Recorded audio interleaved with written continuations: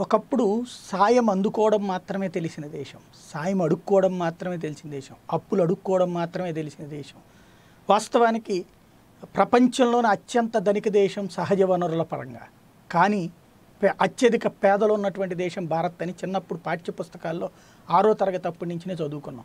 కానీ ఈ రోజున దేశం చాలా ఎదుగుతూ ఉంది. ఆయుధాలను ఇతర దేశాలకి అమ్మేటువంటి స్టేజ్కి వెళ్ళాం. అట్లాగే ఇతర దేశాలకి సహాయం చేసే దశకి వెళ్ళాం ఒకప్పుడు ఏ రష్యా దగ్గర నుండి అయితే సాయం తీసుకునే వాళ్ళం ఇప్పుడు ఆ రష్యాకే అప్పులు ఇచ్చిన వాళ్ళం మనం. ఆ రష్యాకే గ్రాంట్లు ఇచ్చినటువంటి వాళ్ళం. అలాగని మనం అప్పుల్లో లేమని కాదు. మన దావన మనం ఖర్చు పెట్టగలం తీసుకోగలం అనుకున్నప్పుడే మనం ఇస్తూ ఉంటాం. ఇప్పుడు ఈ సహాయాలు అనేటువంటి మొన్న ఈ మధ్యనే మాల్దీవులకి చేసినా లేకపోతే ఆఫ్ఘనిస్తాన్కి పార్లమెంట్ కట్టిపెట్టినా ఇట్లాంటి మనం మనం కూడా సహాయం చేస్తున్నప్పుడు హ్యాండ్ పైకి ఉంటుంది సహాయం తీసుకుంటున్నప్పుడు హ్యాండ్ కిందకు ఉంటుంది ఎప్పుడూ తీసుకునే అడ్డుక్కునే దేశంగా కాకుండా ఈరోజు ఇచ్చేటువంటి చెయ్యి పైకున్నటువంటి దేశంగా ఉంటున్నాం. ఎందుకు చెప్పాల్సి వస్తుందంటే తాజాగా forty two Africa African nations benefiting from projects worth eleven point four billion dollars from Bharat India. భారతదేశం ఆఫ్రికన్ కంట్రీస్లో ఉన్నటువంటి వాళ్ళకి వివిధ ప్రాజెక్టుల ద్వారా పదకొండు పాయింట్ నాలుగు బిలియన్ డాలర్ల సహాయం చేస్తుంది.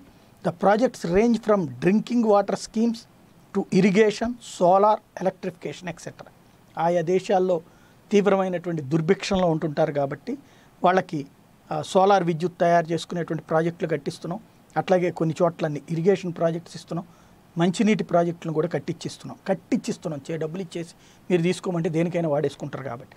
African nations have been given duty free access to ninety eight point two percent of India's total tariff lines అనేటువంటిది మరొకటి India is also opening eighty new embassies to expand its diplomatic outreach on the continent అనేటువంటిది కూడా. ఆయా ప్రాంతాల్లో కొత్తగా మనం రాయబార కార్యాలయాలు పద్దెనిమిది దేశాల్లో ఏర్పాటు చేస్తున్నాం. అంటే ఇప్పటిదాకా కూడా మన కాన్సెప్ట్ అంతా చుట్టూ ఉన్నటువంటి దేశాల మీదనే ఉందట. అమెరికా రష్యా లేకపోతే అరేబియన్ కంట్రీసు చైనా పాకిస్తాన్ ఇట్లాగా ఉన్నాయి. బర్మా ఇట్లాగా శ్రీలంక ఇట్లాంటి చోట్ల ఉంటాయి దూరంగా ఉన్నటువంటి ఆఫ్రికన్ కంట్రీస్ దగ్గర మన ప్రయారిటీస్ తక్కువ ఉన్నాయి. ఇప్పుడు అక్కడ ఉన్నటువంటి అన్ని దేశాలలో ఎంబసీలు ఏర్పాటు చేయడంతో పాటు ఈవెన్ మనకి అందరికీ గుర్తుంటే ఒకసారి నేను గతంలో కూడా ప్రస్తావించాను. ఐక్యరాజ్య సమితికే మనం సోలార్ ప పవర్ ఏర్పాటు చేసి ఇచ్చాం వాళ్ళకు కూడా ఫ్రీగా.